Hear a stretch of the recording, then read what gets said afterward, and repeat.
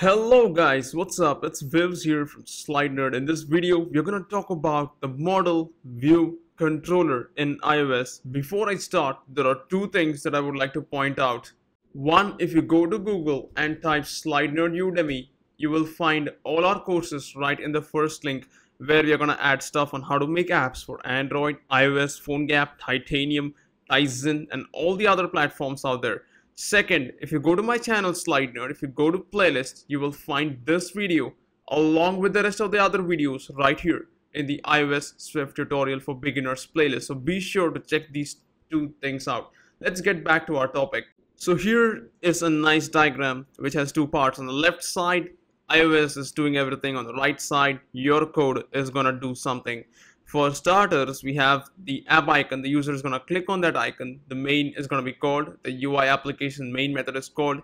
The UI file is loaded. Initialization happens and then immediately your app delegate.swift file is going to have the application will finish launching with options method being called over here.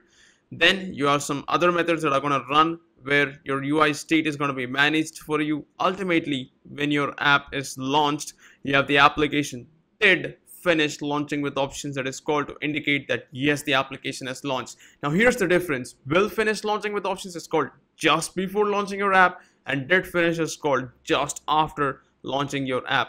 Then your app is in the running state at which point iOS is going to activate the app and your application did become active method is called over here. Finally, you handle events like button clicks or image taps or swipes and other gestures and those are going to be processed by your event loop and ultimately the user is going to switch to a different app. When the user ultimately moves away from your app, you have the state called background, which is this blue box that you see here. In the background state, the user is not looking at your app. Immediately, the first thing that happens is the application did enter background method is called. In this method, you can do whatever you want when your application enters the background. For example, it could be simply saving two instance variables that may contain the username and password or it can be something more sophisticated like writing to a file or checking cache or something like that.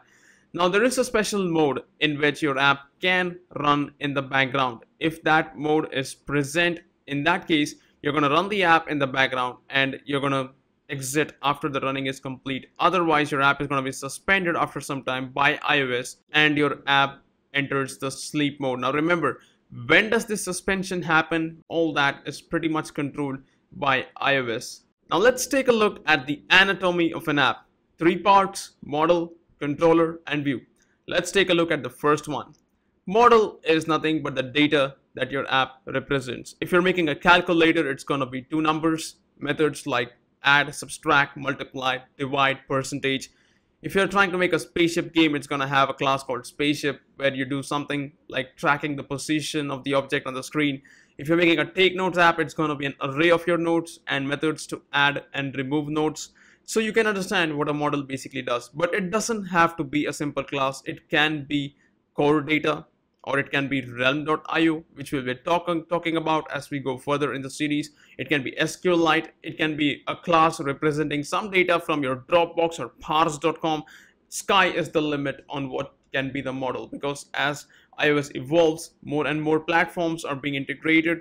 Cloud storage is easily possible now with two lines of code and all that can be represented by your model class if you want. So model is pr pretty much a very broad topic for discussion. Let's take a look at the next item that would be the view controller. Now view controller manages the presentation on screen. Here is the simplest statement. A view controller in simplest words is a screen. So like it says, a view controller manages a single view and a collection of subviews. Now subviews are simply views within views.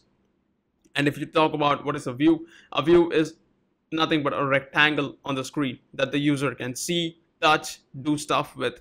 So whenever a view controller is presented, the view controller is going to make its views visible and install them in the apps window.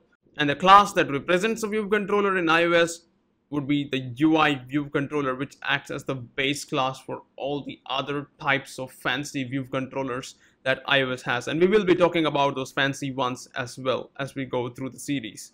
Now let's try to understand the third item which would be view which has something called a UI window. Let's take a look at this UI window. Here is a simple app that shows an image on the screen with the help of the UI image view. Now on the user's end, they're just gonna see the image, but this is what it actually looks like on the left hand side. You have layers. At the bottom level, you have something called the UI window, and on top of it, you have the UI view, which is a rectangular area capable of displaying something and letting the user interact with it. On top of the UI view, you have the UI image view that takes up the full available screen space. Now the UI image view is a widget that can display this palm tree image that you see in the diagram. Now there is a button here called transition, which is again on top of something called the UI toolbar. And as you can see, this is how things are broken layer wise and item wise in iOS. So let's take a look at what the UI window does.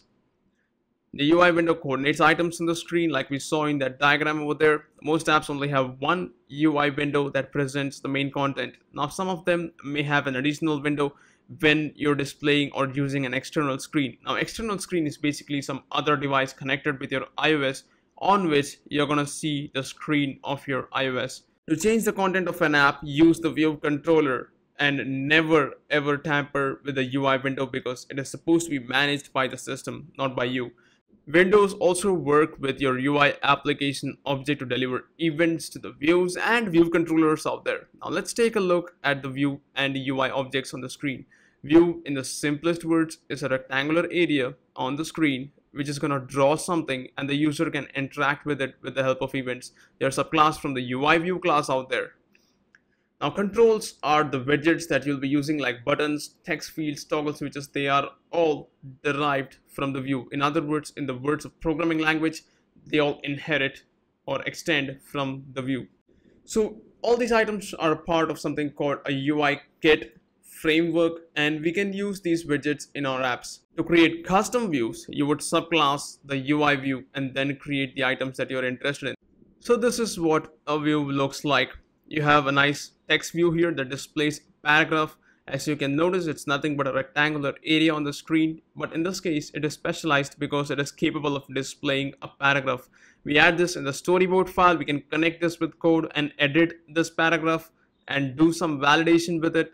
So that roughly covers the model view controller and we'll be taking a look at it in more detail as we go further. In the meantime go to google type SlideNerd udemy and take a look at our courses out there you can check our social accounts on SlideNerd Twitter and SlideNerd Facebook and all the code is out there if you type SlideNerd GitHub on Google. Thanks for watching. I'll catch you guys in the next video. Have a nice day.